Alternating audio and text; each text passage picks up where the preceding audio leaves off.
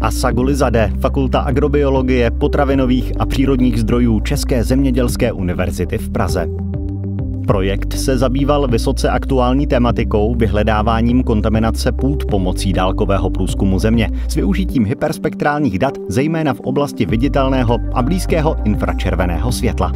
Kalibrace proběhla konvenčními analytickými metodami i s využitím neuronových sítí a nástrojů strojového učení, což představuje průlomovou metodu v této oblasti.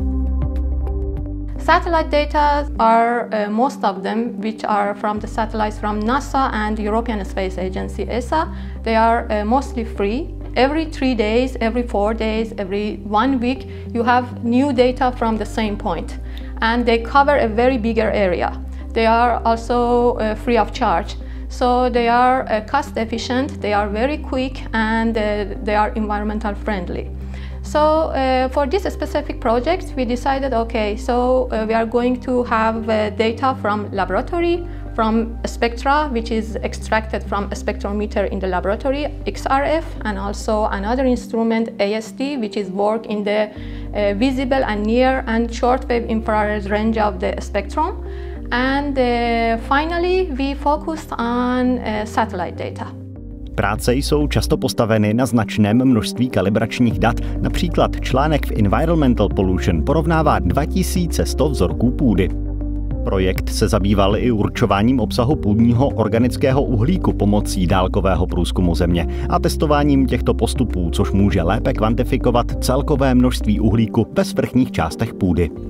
Satellite data which was totally free and very quick It was very uh, nicely provided the map of the soil contamination and it was totally comparable with the conventional technique of laboratory which was time consuming and expensive.